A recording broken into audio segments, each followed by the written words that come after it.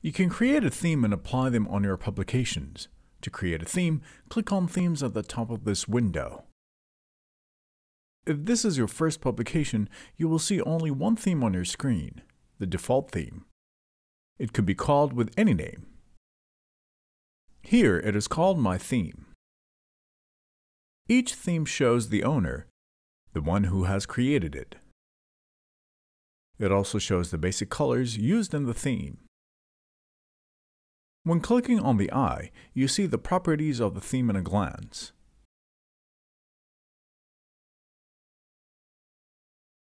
The next symbol allows you to duplicate a theme. Hover over the copy icon. The pencil is used to edit a theme. The trash bin symbol is used to delete the current theme. For the first aid publication that we made in the previous videos, I'm going to create a new theme. Therefore, I click on Create Theme. I give my theme a name, let's say First Aid Theme. To add a logo, click on Select Image. I can either upload an image or paste an image or I can drag and drop an image.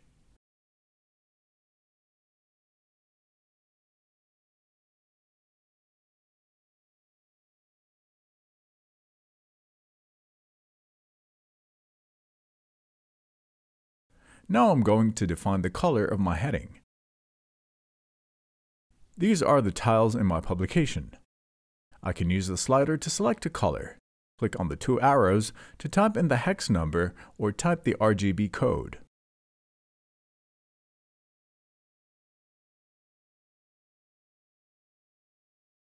I can now specify the text color.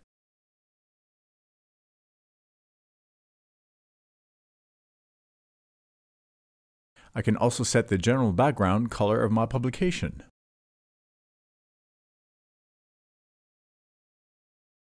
Finally, I can choose the color of the navigation icons.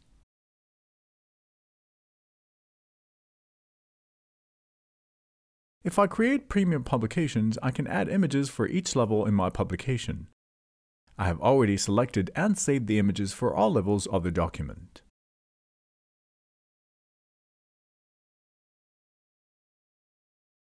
In the same way, I have added images for all the other levels.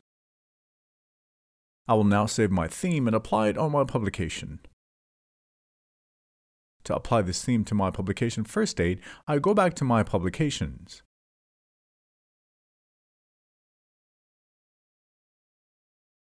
I click on the pencil and change my theme.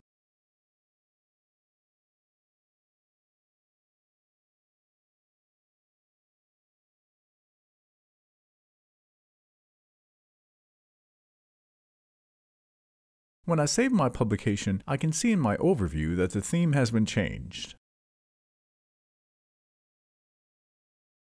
When I review my publication, I see that my theme has been successfully applied. The background color, the text color, the images, etc. And this is how we can easily create a theme and apply it to any document to be published.